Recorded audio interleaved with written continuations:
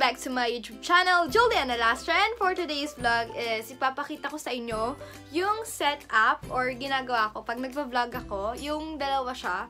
Dalawa kasi siya.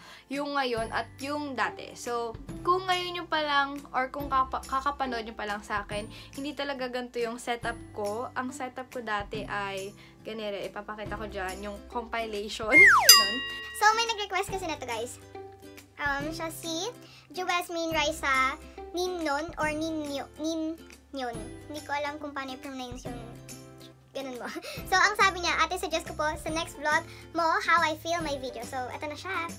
So, eto talaga yung bago ko ngayon, which is, ayan, may ring light na ako. Tapos, eto, kasi, kaya ngayon lang ako nakapag-vlog dito sa pwesto na to kasi nga, um, wala pa akong ring light. Um, wala, ngayon may ring light na kasi ako. Ay, kaso lang, dati, hindi ako makapag-video dito kasi, um, yung ilaw namin, medyo dark siya, and wala akong ring light nun. Kaya, mahirap. And wala din akong stand, that's why, mahirap talaga mag-vlog sa pwesto na to. Dati, nung wala pa akong pang ganyan, ganyan, yung style. So, ayun na, kung gusto niyo mapanood kung ano yung dati kong pwesto, just keep on Yeah, watching. guys, nandito ako sa kwarto. So, dito lang ako nag-video. Tapos, ito yung um, bagong setup. Ito yung ring light na Ayan. Tapos, ayun yung pa-stand ni Mayora. Tapos, yung dati kong um, pwesto is dito. Ayan. Yan yung dati kong pwesto. So, bale, ang nakaganyan siya. So, na-imagine nyo na ba? Tapos, gumagamit lang ako noon dati ng um, Gorilla Pad, which is, ito siya. Ito. Ito yung gamit ko noon. Tapos, gumagamit ako ng, wait lang guys. Yung ilaw ko dati is ito lang. Wait, na ko nakuha ang ano.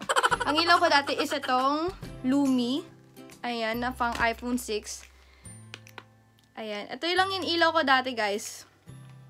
So, ayan. So, pag kinabit ko siya, ganyan, lang itsura. Kaya, di ba minsan, hindi ganun ka um, ganun kaliwanag. Kasi ito lang talaga yung ilaw ko nun.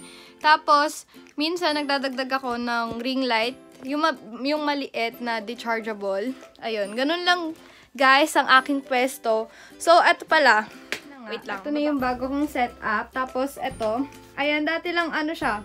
Um, parang hallway lang siya ng kwarto. Tapos, ayun yung mga kinuha kong bagay-bagay. Ayan lang. So, hindi talaga ako nag, um, nag-ayos niyan. So, stante lang talaga siya ng TV. Yeah, kaya ayan yung nakikita nyo. Tapos ito yung electric fan, electric fan na nakatago doon. Tapos ito na yung setup natin ngayon. Bali, ang ginawa ko is, um, winide ko na lang yung cortina. Nilagyan ko ng sipit doon. Kita nyo ba yun? Tapos sipit din doon sa kabilang side. Para buo yung makitang, um, buo yung makita. Yeah, walang makitang um, bintana. So, bintana talaga guys yung nasa likod niyan. So, ayun lang. That's how I film my vlog. So, sana nagustuhan niyo yung video na to. At sorry kung late din kung na-post. Pero, ayun na nga. Sobrang simple lang nung video na to ngayon. Kasi, eh, pinakita ko lang sa inyo kung saan ako nagbo-vlog or kung paano ako mag-vlog. So, ganito yung setup ko ngayon. Ganito na yung setup ko. And, tatry kong bumili ng mga pwedeng ipang design sa likod para meron tayong iba't ibang, um, you know, backdrop. So, ayun lang. If you like it, please give it a thumbs up and subscribe to my channel down below there. At kung may gusto ka pang i-request or shoutout, just comment down below lang. So, ayun lang. Bye!